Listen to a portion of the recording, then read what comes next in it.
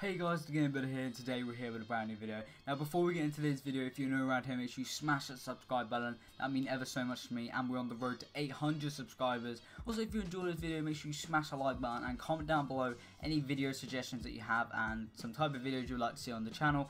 Also, I'd like to thank you, all of you guys, for all of your support with this SoaR RC. The SoaR RC ended on the 31st of August. Now, I know I'm going to be titling this the SoaR RC just because, you know, they're going to be looking through it now, so hopefully they'll see this video and if you're watching SoaR then enjoy. So guys, Today, basically, I'm going to be showing you a clip that I hit on stream on Mixer. If you're not following my Mixer, you've not tuned into my Mixer, it'll be in the link in the description. I stream on there basically daily. Whenever I'm not recording or editing or uploading, I'm streaming Fortnite mostly. So guys, on stream, we hit not a trick shot, but it kind of, I think it counts as a trick shot. Um, it's not like, you know, an insane, like, FaZe trick shot, but it's my first ever, basically, heavy sniper trick shot for the victory out. Now, basically, what it is, guys, is, you know, it's one of those bouncer, you go off, no scope, bang, we, yes, we hit one of those. It was my first ever one, so, you know, I was super hyped on the reaction.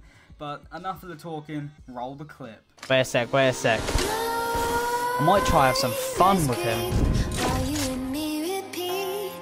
This bittersweet heat is suffocating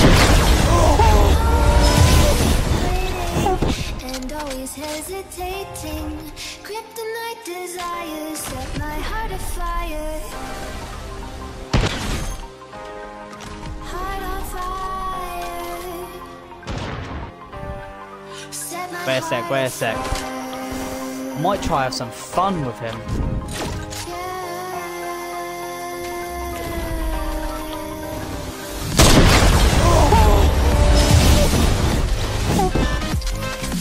So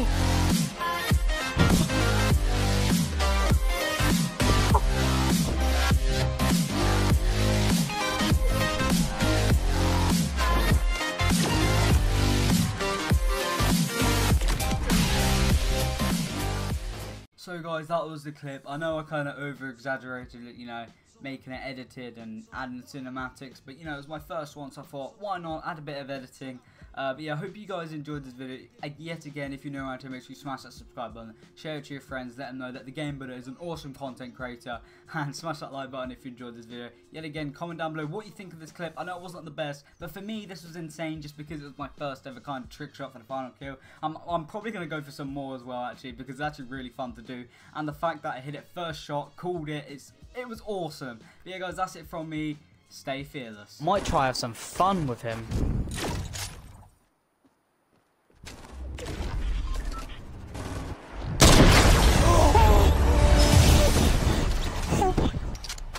Oh Dude, boy.